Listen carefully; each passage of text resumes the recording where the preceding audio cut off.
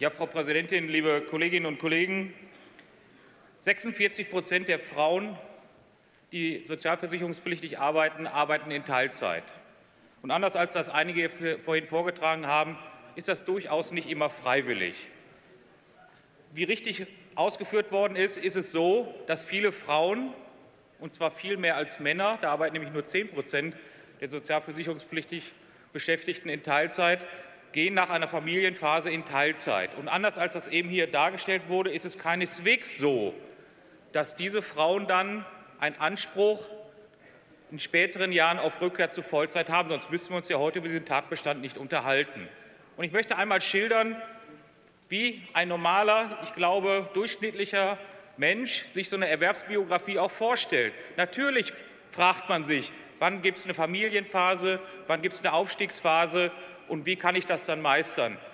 Und wenn man dann zu dem Schluss kommt, ich kann mir eine Teilzeit eigentlich gar nicht erlauben und deswegen kann ich eine Familie nicht so gründen und nicht so gestalten, wie ich es für richtig halte, werden viele Menschen, Väter wie Mütter, in Vollzeit gezwängt oder eben sie nehmen die Teilzeit in Anspruch und haben dann nicht mehr die Möglichkeit, in Vollzeit zurückzukehren. Und das hat schwerwiegende Folgen. Das ist richtig dargestellt worden.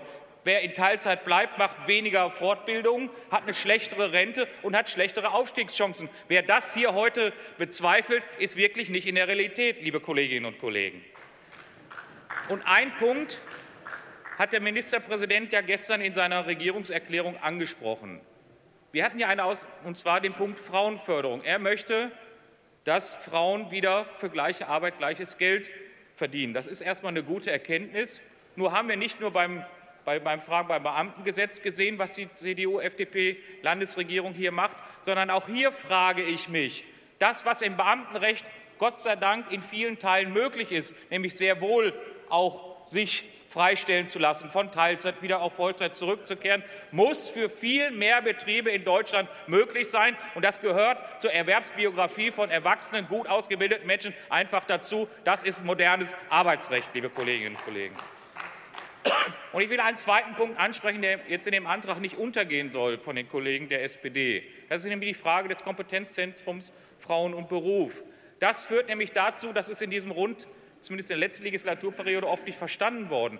Dieses Kompetenzzentrum berät gerade Unternehmen und nicht Einzelpersonen dabei, wie sie ihren Betrieb familienfreundlich gestalten können.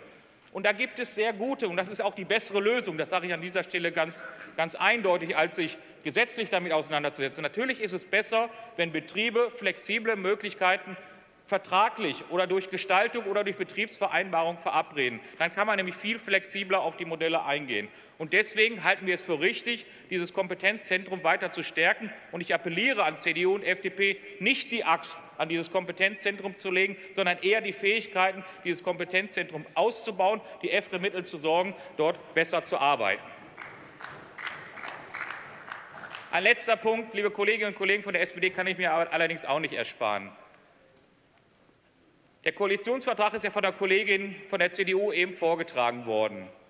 Und er ist eindeutig. Und anders als Sie das dargestellt haben, Frau Oellers, ist es nicht so, dass der Vertrag erfüllt worden ist, sondern die Bundeskanzlerin hat ganz klar äh, hier Koalitionsbruch betrieben. Das sehe ich eindeutig so und verweigert eine Besserstellung für Teilzeitbeschäftigte. Das ist eindeutig. Aber warum die Arbeitsministerin nicht in der Lage war, früher diesen wichtigen Punkt in der Legislaturperiode anzusprechen, bleibt ihr Geheimnis. Ich kann nur sagen, das ist tatsächlich Wahlkampfmodus. Und das finde ich aus, außerordentlich bedauerlich, weil das ein wichtiger Ansatzpunkt wäre, Familienpolitik, Zeitpolitik und Geschlechtergerechtigkeit in Deutschland wieder deutlich mehr in den Fokus zu setzen. Das hätte es verdient, durchaus früher abgebildet zu werden. Und es ist schade, dass es nicht zum Gesetz worden ist. Wir Grünen halten das inhaltlich für richtig. Wir setzen uns für deutlich mehr ein. Und weil die Kollegin Schneider den Punkt auch angesprochen hat. Die CDU hat die Zustimmung verweigert, weil Frau Nahles so wie es üblich ist, bei 15, Teilzeit, äh, bei 15, Beschäftigten die Grenze der Gültigkeit ziehen wollte.